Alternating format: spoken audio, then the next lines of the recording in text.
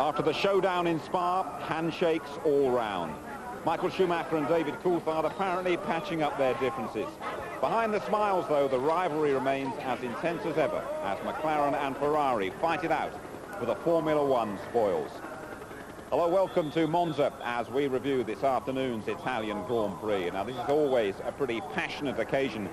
They come with high expectations that their man can put home advantage to good effect. In round 14 of the World Championship, they want that world title back, and Michael Schumacher's determined to deliver.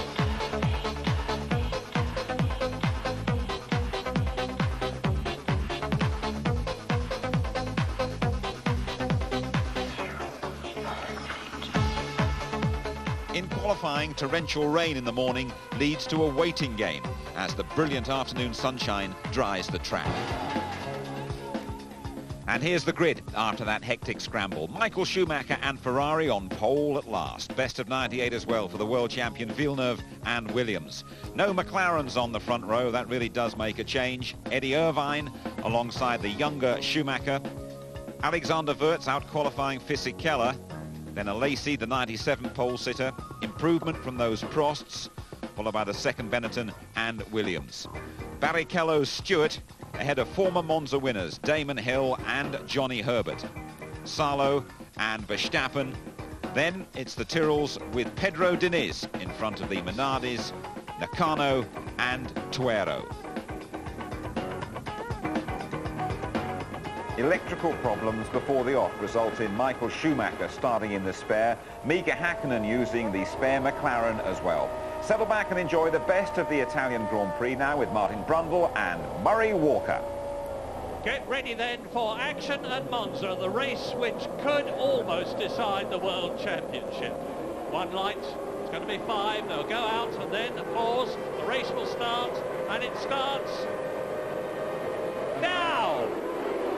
Great start from Hakkinen. Great start from Hakkinen, he's through, he's past Schumacher and Coulthard. Terrible start for the Ferraris, magnificent start for the McLarens.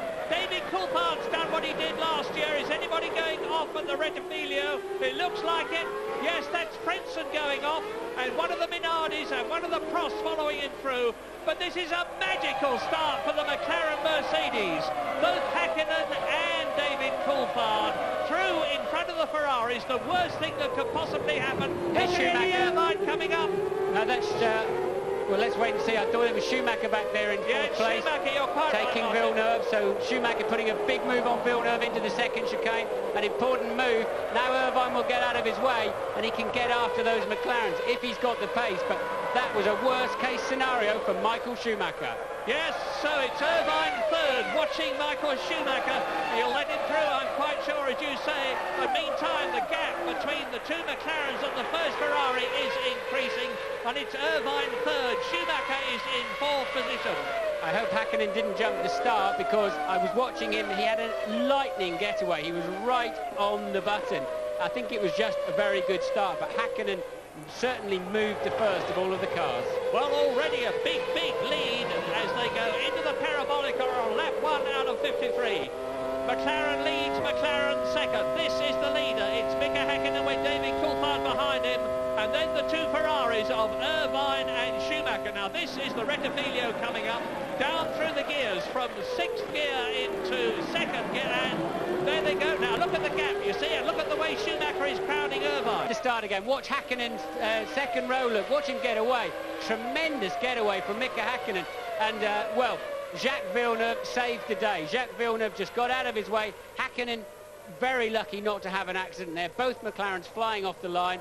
And I think the green track, it's rained so heavily here, has hurt the tyres that Ferrari chose through all of the testing that went on there. Lots of cars going through the escape road into the first corner. No harm done. It's quite a smooth, hardened area through there. But meanwhile, the two McLarens looking blindingly fast. And is that Schumacher fast now? Yes, Yes, it is. it while, is. while we were watching the replay, uh, Irvine has yielded to Schumacher. and uh, Schumacher now on his way.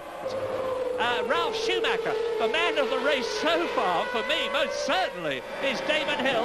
And this looks, uh, it looks to me as though the McLarens are having a pretty serious race of it, and reminds me of uh, like of Andretti and Ronnie Peterson in 1978 in the two Lotus cars when they drove round in formation.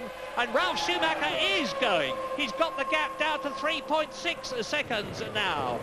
Is is uh, Michael Schumacher in the Ferrari. There he is, third position, and he's catching the McLarens. The top 10 at the moment on lap 13. Coulthard, and the gap is 4.4 seconds between him and Hakkinen. Schumacher, that is Johnny Herbert off in the Sauber, and uh, out of the race, it looks to me. I think that's on the way into the parabolic, a bit of a wild guess, but Johnny's having a very poor run. He'll be rather pleased. He's got a seat secured at Stewart for next year. It's certainly not working well for him at the moment. Hakkinen, eight-tenths slower than Coulthard on the last lap, and interestingly, one-tenth faster than Michael Schumacher. Off backwards, replay Second goes... Lesmo, actually. Just it under braking in the second Lesmo, Murray. Yep. And the engine's clearly stalled. Look, the back wheels are grinding to a halt through the gravel trap. Johnny out of the race. For Damon Hill, he's just passed fifth place man, Jacques Villeneuve. I think we're about to see it. Yes, we are. Look, getting in the slipstream, pulling out to the right-hand side, obviously at the end of the pit straight. And uh, Damon, nice, clean move. Then he goes to cover the inside. Really professional stuff from Damon. But sadly, it looks like he's got to come in the pits for his first stop. And meanwhile, Coulthard... Oh, that, that's a Minardi. That, that's Nakano, Shinji Nakano, but already the marshals are onto it. It looks like a bit of an oil fire, perhaps a pipe's broken. The extinguishers go, and Shinji Nakano is out of the race, as already, of course, is Johnny Herbert and Pedro Diniz. So three retirements out of the 22 who started. This two-stop strategy is looking a bit smart at the moment. Coulthard now into the 1 minute 25.9s, 1.5 seconds quicker than Hakkinen that time around in the same car. So Hakkinen lost a half a second to Michael Schumacher. Coulthard's car appears to be working better. Now it's a replay of uh, Nakano's Minardi and you can see the Ford engine has let go in the biggest possible way, and indeed that is an oil fire, and it's very convenient that he stopped right by a marshal's post. Plenty of fire extinguishers. It's a lot more dramatic than it looks, but I wouldn't like to be there at all and it's getting very close to push and shove for Michael Schumacher as the back of the McLaren steps out, just a whisker, going through the Rettifilo, round the Grand Curve, and they go round the Grand Curve at a, a terrific speed. Well, we now know. Ooh, Bang! Big, what that's was Coulthard. that? That's Coulthard David blowing Coulthard. up. David Coulthard out of the race. Now, if that's happened to him, it's academic now. What strategy? Schumacher's going for the lead in the Roggia. And he right up alongside and he's going through. Fantastic. Hakkinen fights back. This is magnificent. The lead changes twice in about 400 yards. And Michael Schumacher leads the Italian Grand Prix. David Coulthard is out of it.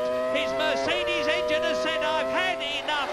But Hakkinen is not going to give up Yes, and look at the oil on Hakkinen's camera. You assume he's got that on his... I think he lifted in all of that smoke of his teammates' blow-up more than Michael Schumacher did.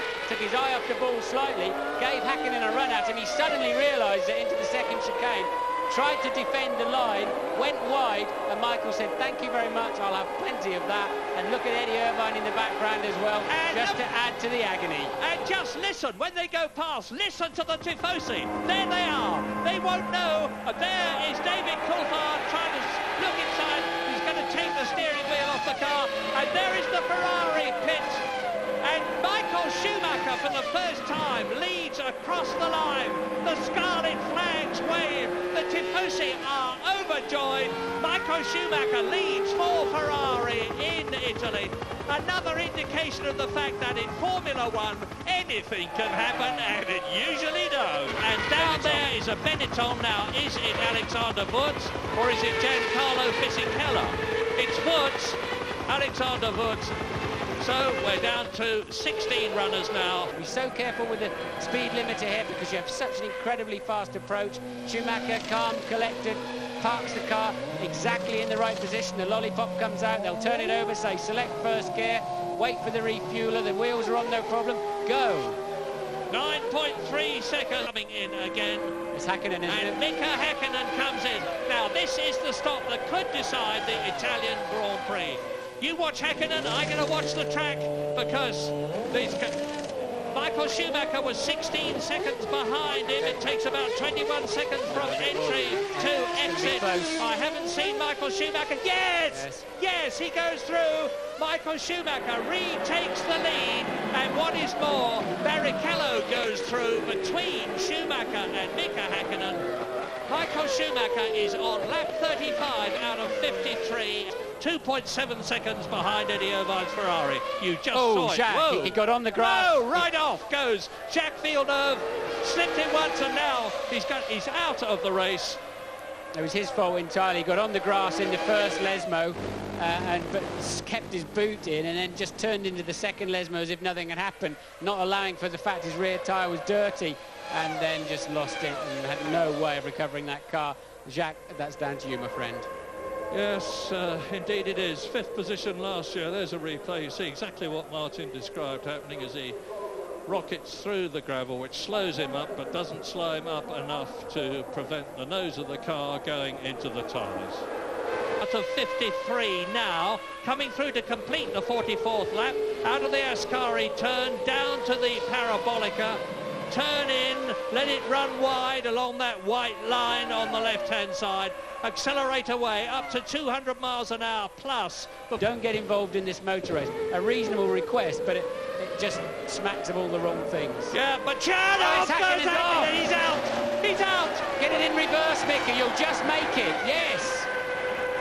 This no, he's kept the engine running. Coverage. Careful now, don't hurry it, don't well, hurry it. Keep it under control, spin it around, don't let that control. Irvine's 31 seconds back, so it doesn't matter. He's still in a six-point position. He went through the gravel track backwards, so I don't expect he's got a hold radiator or any other kind of problem. I think he's just going to get away with that one. What a fantastic recovery, though. I've never seen one like that. Backwards through the gravel trap. He kept cool, got it in reverse, got it forward again, drove out. And the question now... Here we go, look. He just got slightly on the white line on the way in as he started his braking and the back snapped away. And look, he's looking in his mirrors to see where it looked. He's correcting the car. Well done, Mika. You hit the reverse button there and just keep it going backwards. Now, be calm. It's easy to rush there. Look, it just caught him out. A touch too much rear bias. I think he was coming slightly off the white line anyway as he turned in. And that's the net result. Look, his, his wheels are going backwards. Look, very, very clever done. And the question is now, and no, I can't tell you what the answer is, no. where is Eddie Irvine in relation to Hakkinen? Well, Hakkinen lost 20 seconds. Uh, oh, he's gone straight over the chicane again. Come on, Mika. I don't know if he's got some kind of problem. I think his tyres are dirty. You saw the McLaren mechanics ready. They can't pull him in. He has to carry on if he can. Irvine is now 22 seconds, uh, 12, 12 seconds, seconds, 12 seconds behind Hakkinen. Eddie Irvine finishes in second position. It would be an incredible... Here it is, look. through! Eddie Irvine goes into second position. Magnificent for Ferrari, magnificent for Italy, terrible for McLaren. But I'm beginning to wonder now whether that problem that Mika Hakkinen's got is going to slow him yet more. Ralf Schumacher is ahead of Mika Hakkinen. There he is. There is Ralf Schumacher in the Jordan. He's got past Mika Hakkinen. But uh, Hakkinen should finish fourth without any trouble because Jean Alesi, who is in fifth place, is some 17 uh, seconds behind him. If he wins this race and he's only got half a mile or so to go, it is going to have been an... Oh, and he's waving. Don't do that. Remember what Nigel Mansell did in Canada and he lost the race. But Michael Schumacher is not going to do it. Schumacher wins in Italy. Fantastic. Absolutely incredible. Wow! And Eddie Irvine finishes second. So it's maximum points for Ferrari. Ralf Schumacher should be home in third position. But is Jean Alesi going to have caught Mika Hakkinen? I don't think so. There was too much between them. But uh, what a magnificent sight that is for Italy and the Tifosi of whom you have heard so much. Michael Schumacher's 33rd Grand Prix victory makes him level with Mika Hakkinen in the World Championship. And that is something that no one would have forecast as Eddie Irvine crosses the line to finish in second place. And that's the second second place that Schumacher has had, uh, that Irvine has had this year.